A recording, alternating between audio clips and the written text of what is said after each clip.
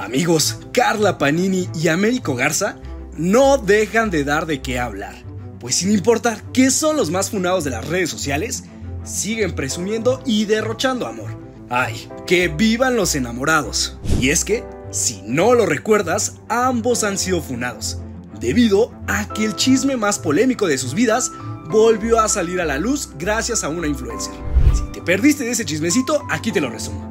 Resulta que hace 7 años Carla Panini y Carla Luna debutaban en el mundo de la comedia como las lavanderas y eran al parecer grandes amigas. Sin embargo, Luna enfermó de y a la par Panini comenzó a salir con el esposo de Luna, Américo. Incluso se decía que Panini le pedía que la tratara mal. Al final, Luna y Panini se convirtió en la pareja oficial de Américo y a la fecha siguen juntos.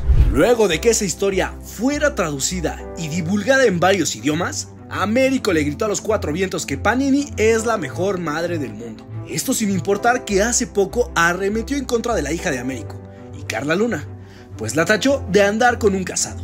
Solo puedo decirte gracias. No sabes lo mucho. Te admiro amor, gracias por amar así a mis hijas, tus hijas, y por ser la mejor madre. Feliz día y larga vida a la mejor mamá del mundo. Te amo para siempre 856. Así las cosas.